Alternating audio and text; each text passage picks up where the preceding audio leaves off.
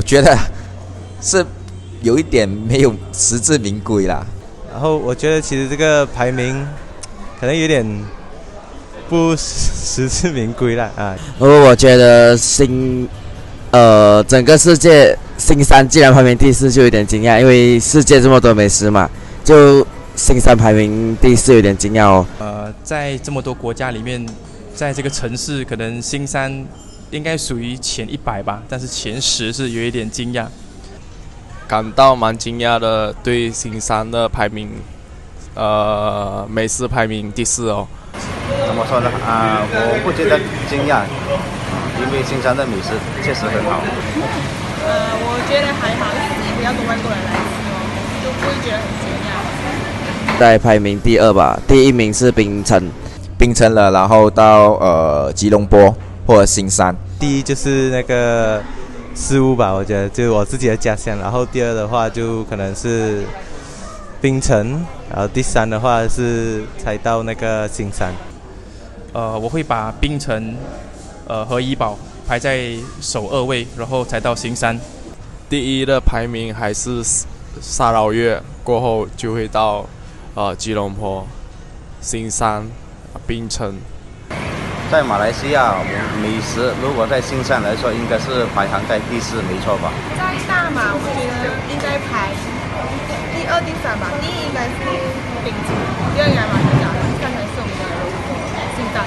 呃，果条仔，我们叫做鬼条干，是呃苏浪拉沃的文强，还有呃南滨园的果条仔。新山的美食，我觉得比较好吃的应该是云吞面和肉骨茶。我是在那个布兰伊附近的按摩院附近，然后是晚上才有开的。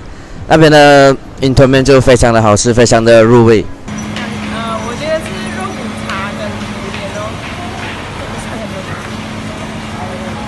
肉骨茶就对面就有了一个，对面有一个肉肉骨茶。呃，火锅，呃，还有炒粿条啊，卤肉啊。果条仔这些，在新山，比如像苦瓜汤啊，还有巴布碟啊，都是非常好的。蛮多的美食，很像呃，有面粉果啊，啊，面粉果在这边新山呃是个特色，然后还有果条仔，呃，九拉沙、米勒布斯，这些都是新山甚至酒后比较多人常吃的。啊，山的云吞面是比较大多数可能人吃到是白色的，然后我们似乎就有吃比较多是黑的，呀。它的特色点会跟其他地方不一样，呃，例如说它的食物的味道会有一种香味，例如说我们的文春面啊，在呃板南的文春面啊，它的会有一点特色的味道，跟一般的文春面是比较不一样的。面粉果同样的也是，它跟吉隆坡的味道。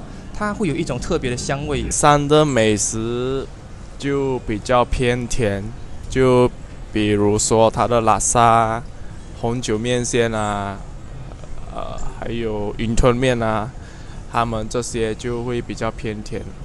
在新山，我们可以到马尔丁啊、卓和斋呀，这种都非常多美食。呃，所以当然，新山美食从小到大吃到现在，当然是最喜欢，也是最有特色了。